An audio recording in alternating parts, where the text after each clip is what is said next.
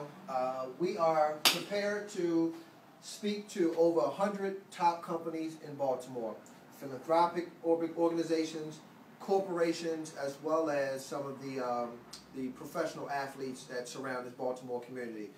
This emergency operating plan that we came up with is inclusive of everybody investing in this effort to bring down the murders.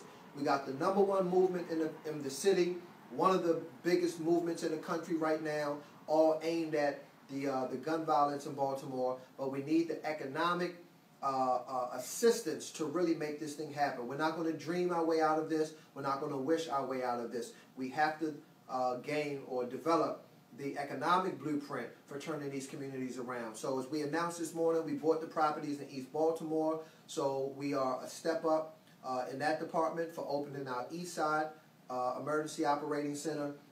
And then what we're doing is we're sending these request letters. We're asking for $20,000 from each of these organizations to assist us in opening up the five emergency operating centers in Baltimore.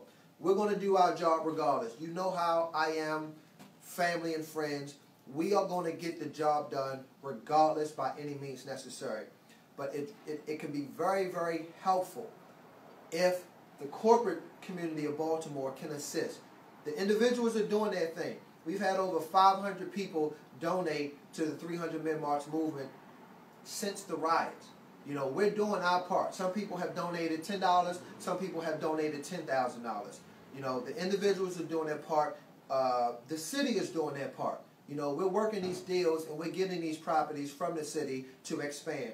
So now we just need the corporate uh, community to do their part also and to, without the red tape and the hassle, to give us the investment we need to really push this thing forward, to hire more youth, and to open up these emergency operating centers. So we got companies on here like Target, we have uh, Clayton Baker Trust, you got General Motors, you know, everybody that's here in Baltimore, um, we're reaching out to and we're seeking again an investment of $20,000 to contribute towards the emergency operating plan. That plan is on our website. It's detailed, the budget, the uh, uh, operating strategy uh, at 300menmarch.com. You can view the proposal if you need. So we're just going to wait and see. But I'm doing this so I can say we've done it. We've reached out, we've asked, we, we put ourselves out there, and we ask for the support from everybody. Who helps? I don't know. But as long as we can say we did the asking, okay? But we have to do what's necessary to reduce this gun plague in Baltimore City next year in 2013. So find out how you can play a part. Uh, I'm sorry, I said 2013, 2016. Because right now in 2015, we are almost upon 300 murders. We're not going to have that next year in 2013.